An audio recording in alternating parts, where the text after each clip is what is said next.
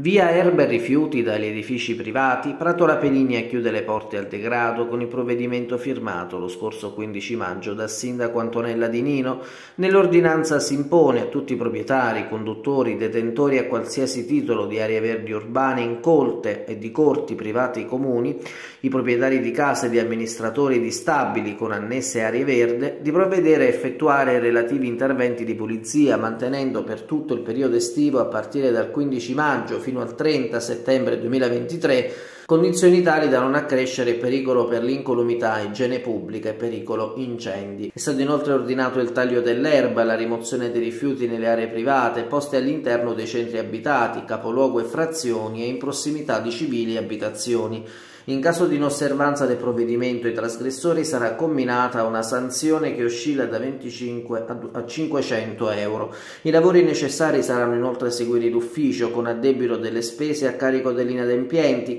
qualora gli obbligati non provvedano entro il termine indicato, un'ordinanza annuale non proprio scontata, necessaria per ripristinare il decoro urbano.